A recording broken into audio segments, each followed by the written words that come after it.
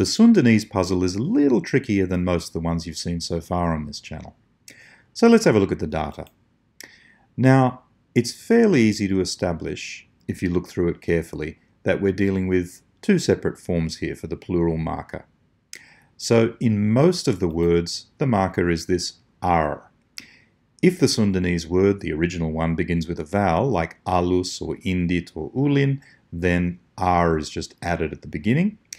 If the Sundanese word begins with a consonant, then the R appears after that first consonant. So far, so relatively clear. But then you find that there is a different form, which is this al.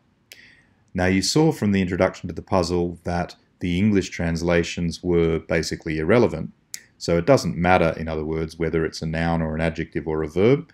That's not the determinant of whether it's are or al. You also probably saw the hint, which said that it was to do with a sound that occurred later in the word.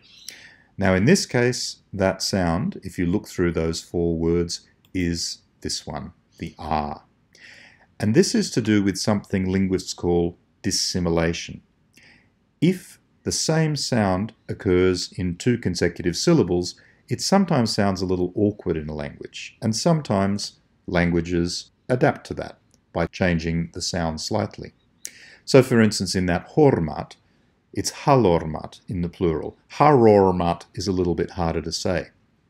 Similarly with naur, down the bottom.